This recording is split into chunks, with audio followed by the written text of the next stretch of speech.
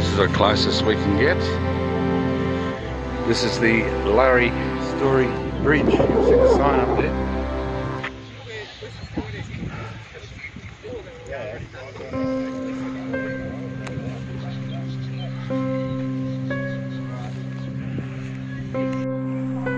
There's one thing I'm really happy about that the police are here, making sure no idiot jumps in the water and goes for a swim.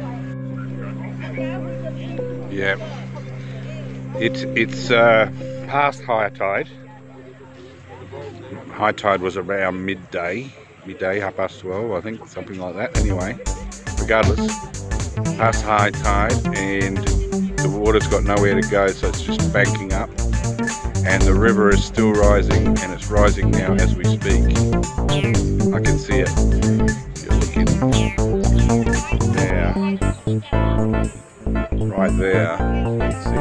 Still rising.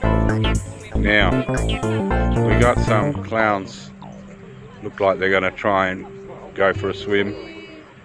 And our nice police officers are trying to save their lives and stop them from doing such a ridiculous thing.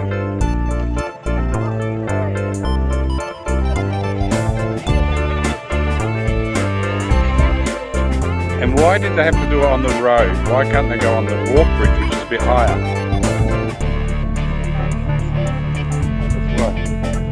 It's just, what kind of mind is that? Well, they'll get fined for it, sure. Hopefully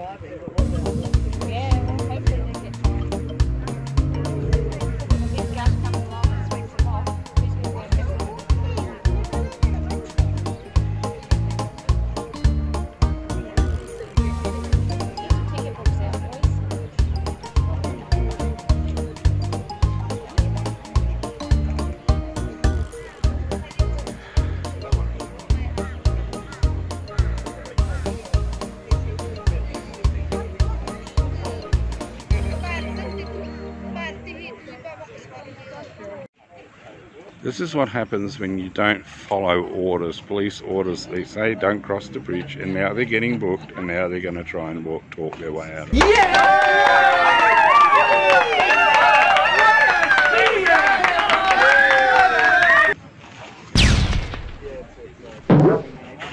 Busted.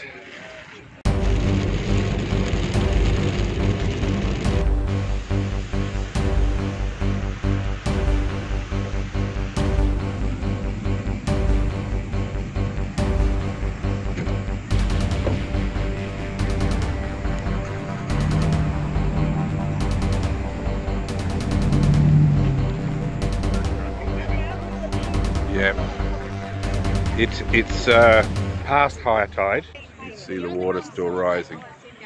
Now we got some clowns. Look like they're going to try and go for a swim. And our nice police officers are trying to save their lives and stop them from doing such a ridiculous thing.